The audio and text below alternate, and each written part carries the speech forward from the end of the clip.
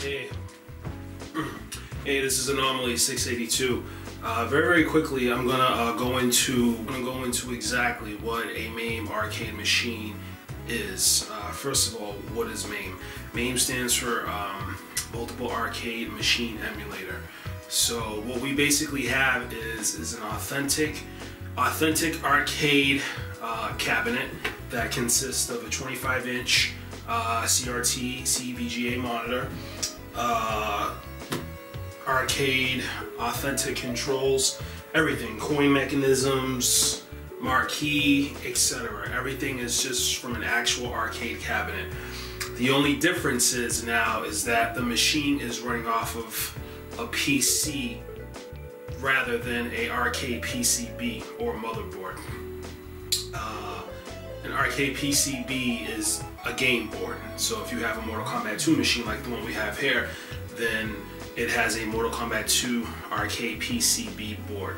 Um, this machine right here is a PC based uh, machine that runs digital versions of the arcade PCB. So basically someone took an actual arcade board, took a, a data extraction device and simply extracted data off the arcade PCB digitally and now I have that file uh, on a PC and what's running that file or that ROM image is the emulator which is called MAME. And then from there you have a PC integrated which I'll talk about in, in uh, future videos. You have because there's a whole process to it and it's kind of technical but at the same time simple once you understand how it works um, then you have a PC that's integrated with the actual arcade cabinet.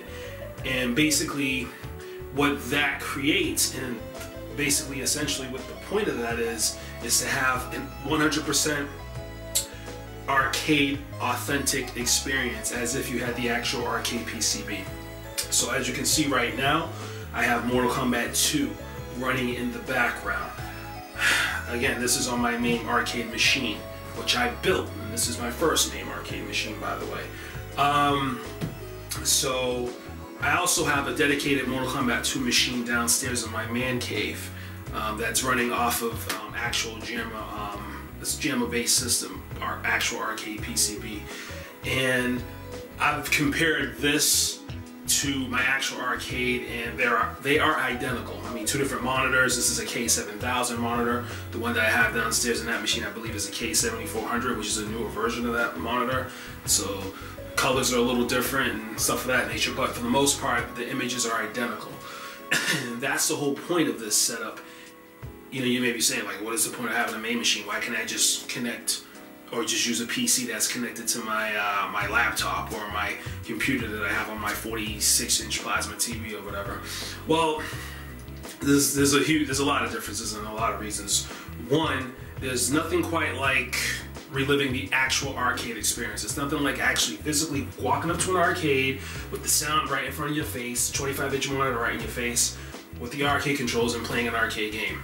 I mean, I grew up in the uh, in the 80s and, and I'm really a 90s child, so you know that's an experience that I'll never forget. And to be able to recreate that experience at my home that I desired and I was so um, you know um, infatuated with as a child is just the, the ultimate experience for me. So so one is the experience. Two is again when you have uh, these um, emulators on a you know computer that's connected to either a laptop or a TV, you're not playing the games the way they were essentially meant to be played. The games were meant to be played on an arcade monitor. Period. They were designed for that, and they were meant to be played on that. And nothing beats the image of these games on an arcade monitor. Nothing comes even close. Not a, not an LCD, not a plasma, not an OLED, not an LED, nothing. So if you're an enthusiast and you and you want an, a, an actual 100% arcade authentic experience, a MAME machine is the only way to go with a 25-inch arcade CRT. I see a lot of other machines out there that have LCD monitors, um, and you know some of them are nice, but you know you can't have an authentic setup with an LCD monitor. I'm not a huge fan of those. I would never build one of those, maybe not for myself at least, maybe for a client. Um, you never see me rock something like that. It's only going to be with an actual arcade uh, monitor. So again, to give a summary, again, what a what a MAME arcade machine is is essentially it's an actual arcade cabinet or a custom arcade cabinet that is integrated with a PC as opposed to JAMMA-based uh, hardware that um, that plays emulated arcade games. Uh, the last thing I'll say is, is that the reason why this is important is because, you know, arcade game boards are becoming very rare and near extinct and expensive for the ones that you can find that are in good condition. Like for example, uh, Mortal Kombat 2 PCB, which I've purchased. I have a spare one. I paid $230 for that. And you know, you got games like Killer Instinct and Teenage Mutant Ninja Turtles and The Simpsons, X-Men. Those PCBs can go anywhere from three to 500 bucks. And at the end of the day, they're electronics. You know, the ROMs degrade, the process, the game processes eventually stop working. Uh, you you know you get corrosion. Eventually, the board will will eventually stop working. So the whole point of the MAME project was really to preserve all these games, all these thousands and thousands, you know, who knows, 40, 50,000 arcade games have come out between 1970 and 2005, is really just to preserve them so so we can have them archived and we can relive the experiences and the memories. And that's exactly what this machine does for me.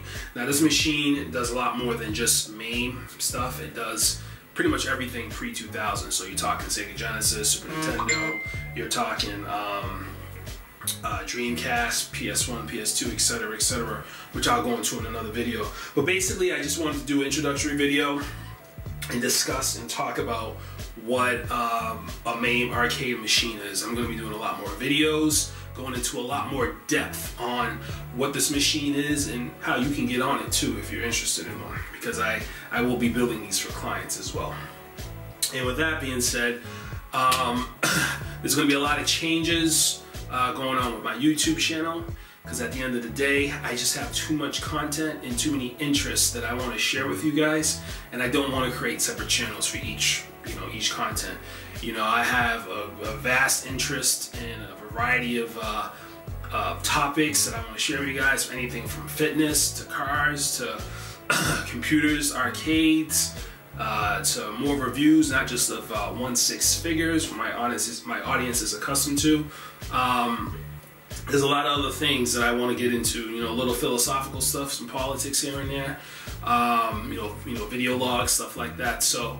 Um, I'm gonna change the name to the channel and uh, we're gonna see how that works out for a little bit so stay tuned for that but for now, uh, this is part one of my um, arcade series uh, videos I'm to be shooting. And um, I'll get back to you guys for part two. Stay tuned. Peace.